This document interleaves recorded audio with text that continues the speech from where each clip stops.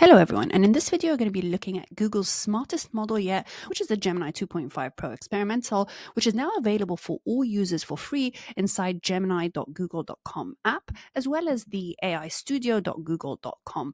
And Google has described the Gemini 2.5 as a thinking model that's designed to tackle increasingly complex problems. We'll see here that these models are capable of reasoning through their thoughts before responding, resulting in enhanced performance and improved accuracy. We're already seeing that Gemini 2.5 Pro is now topping the leaderboard on the chatbot arena across all the various tasks and areas, including hard prompts, coding, maths, creative writing, instruction following, longer queries, and so on. So in this video, I'm going to be showing you how to access and use the model for free and walk you through some amazing use cases where you can take advantage of this new model and its expanded thinking and reasoning abilities. So let's get started. For our first use case, we're going to be taking advantage of Gemini 2.5 Pro's enhanced reasoning abilities by asking it to analyze a dataset and create an interactive charts for us. And as we saw, this model is able to handle complex logic. It's leading on key reasoning benchmarks such as the AIME 2025. And we're going to be putting that power to use and seeing how well Gemini can interpret structured data and also turn it into visual insights. So I'm going to come here to add a prompt that says, here is a data set of numeric results attached. Please convert it into interactive data visualizations using HTML and JavaScript. I want clear visual representation of all the important relationships and insights. Use responsive charts and make sure to label axes and include the legend. Output the full HTML and JavaScript code so I can preview in the browser. But what I need to do here as well, in order for it to output the actual visual and input the interactive graphs within the interface, is that I'm going to activate now this new canvas feature. And then I'm also going to attach my dataset which is basically the quarter one consolidated statements of Apple. And once I've attached that and added my prompt, I'm now going to enter that. Now you're going to see it's choosing the chart types, it's combining the output, and then it starts to open the Canvas interface to, to start writing the code for the interactive data analysis that it's producing. Okay, so now it's come back with the financial highlights and the various graphs. It tells us that this document will include interactive charts and it shows us number one, the net sales breakdown, products versus services. It shows the net sales by geographical region, the net sales by product category, the key income statement figures, simplified balance sheet overview, and the cash flow activities. And if we look at this, look at this from just a single prompt, it's produced a very clear interactive data analysis of the various relationships in the document you can see here the net sales by region, net sales by category, the income statement highlights. You can see the balance sheet overview of the assets and the liabilities and the cash flows. And you can prompt this further and produce other types of charts other than bar graphs, but you can see the power of this model in that one single prompt was able to produce a complete analysis was able to visualize the key financial data from the provided pdf so for our next use case, I'm again going to take advantage of its enhanced reasoning abilities and its thinking capabilities in order for it to act as my strategic analyst to help me analyze a case study and come up with strategic directions as well as visualizations for a case study that I have. So I'm going to add a prompt here that says, You're a strategic analyst advising executive leadership based on the case study. And I have added here a case study that is TikTok's disruption of the social media giants. And I wanted to perform the following strategic diagnosis. I wanted to identify TikTok's sustainable competitive advantage using the resource based view. I wanted to build a logic based decision framework. I wanted to build a risk and opportunity forecast and identify three major threats and three future opportunities for TikTok. Also wanted to come up with three innovation areas that it should prioritize and a policy strategy. And I've also specified some required visuals if I'm creating a strategic proposal would add value to that document that I'm presenting. So things like a SWOT table, two by two competitive positioning matrix. I've got a strategic timeline, a bubble chart, a decision tree, and so on.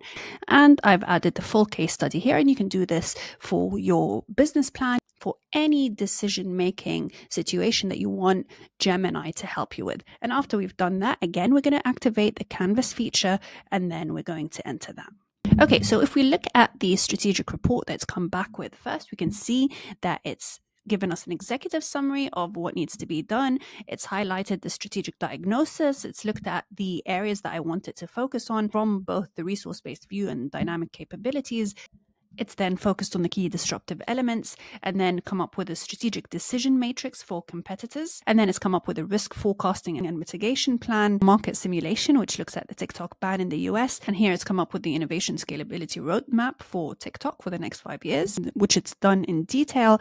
And then it's come up with a policy and regulation strategy as well. And you can just see how comprehensive this outcome has been. And it's come up with some strategic recommendations as well. And all this from just literally one prompt. If you look at the content, some of the ideas and the suggestions that it's indicating are really good suggestions as well that could take your business or your product or your project forward. So let's look at the visual elements as well. You can see that it's come back with the SWOT analysis and it's really nicely laid out, showing me the strength, weaknesses, opportunities, and threats. It's come back with this competitive positioning matrix again, again with a nice visual that I can use and add to my presentations. It's come up with the key strategic moves timeline, nice colors, nice formatting, and a user engagement versus monetization potential here in a bubble diagram as I specified, and then competitor decision tree responding to TikTok, and then a pestle risk radar for TikTok. Really, the capabilities of Gemini 2.5 Pro experimental are unbelievable. And if you look at the content in terms of the directions it's suggested in the report and the ideas that it's coming back with, it really is one of the best models out there. And you can imagine how you can use that to help you build better strategies for business that you're planning to open, for a program that you want to implement, for content development and expansion, really for any kind of project that you're working on. Okay, so for our third use case, we're going to be using Gemini's 2.5 Pro experimental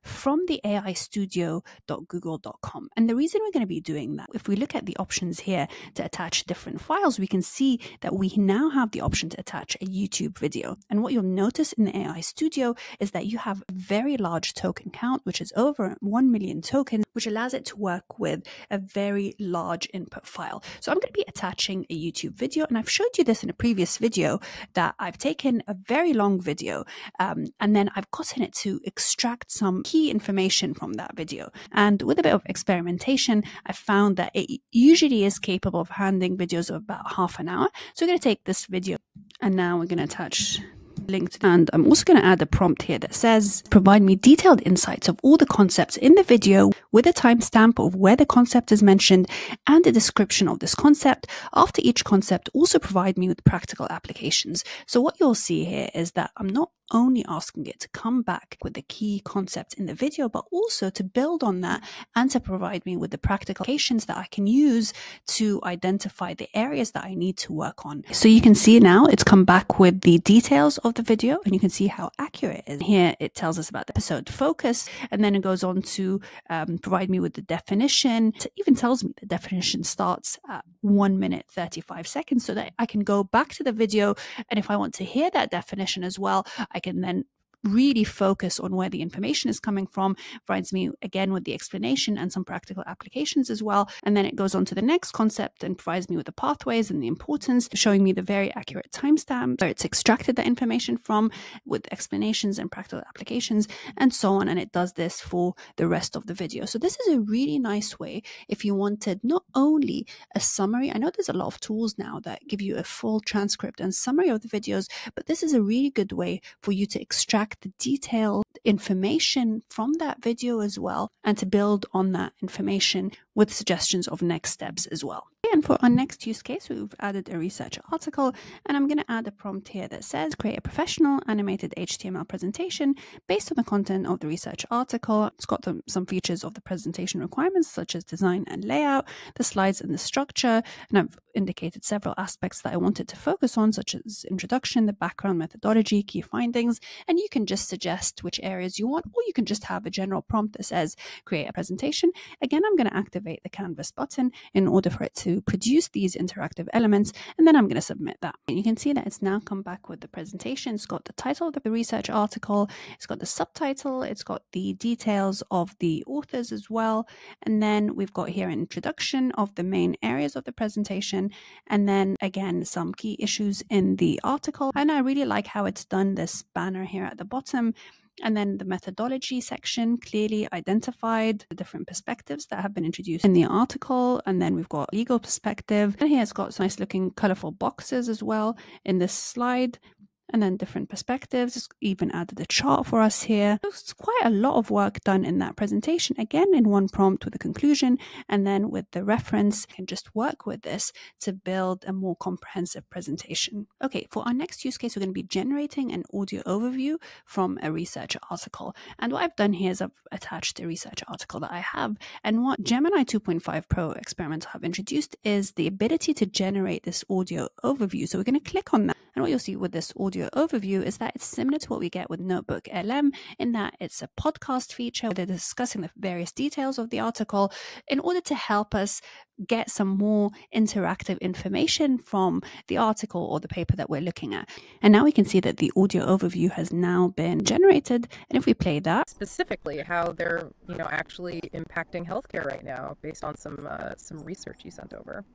Yeah, this academic chapter really dives into some real world applications, mm-hmm. not just like theory, but like how AI and IoT are already being used, mm. you know, to change things for patients. Yeah. Across a whole bunch of different medical fields. Right. Yeah, and that's that's what we're going to try to get at today. Like, you know, cut through all the technical jargon and really look at you know how these technologies are actually making a difference. What you'll see is that it's given us that podcast style overview of the research article and just makes that reading a lot more interesting and interactive. And if you add some prompts here as well, you can get them to immediately discuss the issues as well. So another really nice feature to have within the Gemini app. And you can also use it to create a dashboard from any of your articles as key learning materials like I've done here. And once you're done, you can also ask it to create a quiz based on that. So I've just added a follow up question here to create an interactive quiz based on the article that I've attached. And then it's come up with this really nice looking quiz and it's interactive. So I can choose the responses I want. And then once I'm done with selecting all the responses, then I can then submit. And what it will do is that it will give me the results straight away. So lots of different ways that you can use this Gemini 2.5 Pro. So I hope you found this video useful and see you in the next video.